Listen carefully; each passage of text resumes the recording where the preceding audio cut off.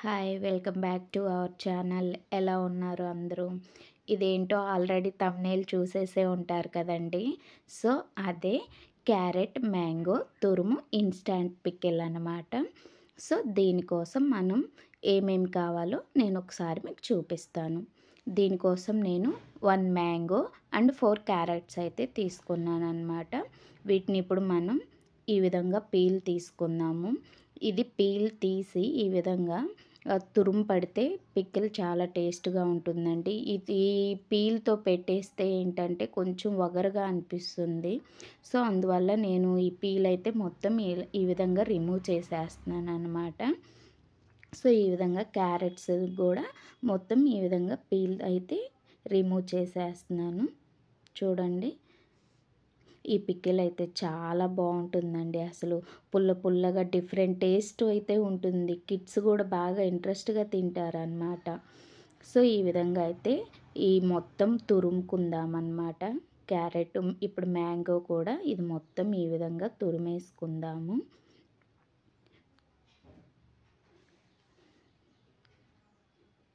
ఇది తురుము ఈ విధంగా తురిమేసుకొని దీని మొత్తాన్ని వన్ సైడ్ అయితే ఉంచేసుకుందాము.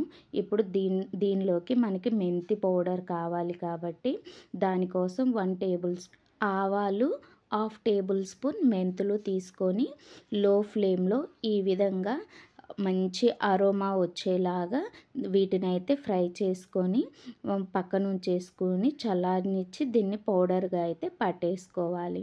మళ్ళీ తాలింపు కోసం నేను టూ హండ్రెడ్ గ్రామ్స్ ఆయిల్ తీసుకొని దీంట్లో వన్ టేబుల్ స్పూన్ ఆవాలు అండ్ హాఫ్ టేబుల్ స్పూన్ లేదా ఫుల్ టేబుల్ స్పూన్ అయినా జీరా అయితే యాడ్ చేసుకున్నాం. అదేవిధంగా ఒక సిక్స్ రెడ్ రెడ్ మిర్చి వన్ టేబుల్ స్పూన్ టర్మరిక్ పది వెల్లుల్లి రెబ్బలు అండ్ కొ- కొద్దిగా కరివేపాకు యాడ్ చేసుకొని దీన్ని మొత్తం ఫ్రై అయ్యాక పక్కన ఉంచేసుకుందాం. ఇప్పుడు ఇది ఒక మెజర్మెంట్ బౌల్ అండి. అంతా ఈ మెజర్మెంట్ బౌల్ తోటి నేను మొత్తం మెజర్మెంట్ అయితే చేస్తాను.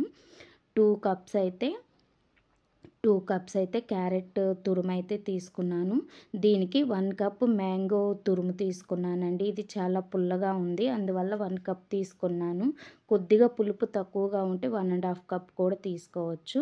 మనం ముందుగా మిక్సీ పట్టుకున్న ఆవాల పొడి వన్ వన్ బౌల్ కారం అండ్ పావు బౌల్ వచ్చేసి సాల్ట్ యాడ్ చేశాను అనమాట ఇప్పుడు దీని మొత్తాన్ని ఒకసారి ఈ విధంగా అయితే ఈ తురుముకి ఉప్పు కారం ఆవపిండి పట్టేలాగా మొత్తం ఈ విధంగా అయితే కలుపుకుందామండి.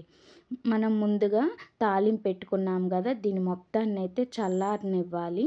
ఈ చల్లార్చిన తాలింపు మొత్తాన్ని ఈ తురుములో యాడ్ చేసేసుకొని దీని మొత్తాన్ని ఒకసారి ఈ విధంగా అయితే కలిపేసుకుందాం అన్నమాట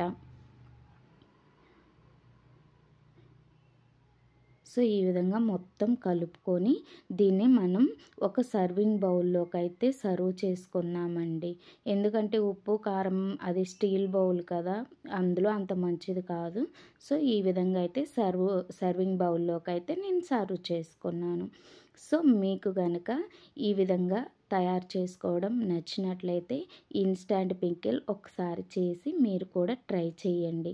సో మన ఛానల్ని లైక్ చేసి సబ్స్క్రైబ్ చేయండి. అదేవిధంగా పక్కన నోటిఫికేషన్ బెల్ ఉంటుంది కదండి దాన్ని ఆల్ అని క్లిక్ చేస్తే మన ఆల్ అప్డేట్స్ అయితే మీకు వస్తాయి అన్నమాట థ్యాంక్ యూ.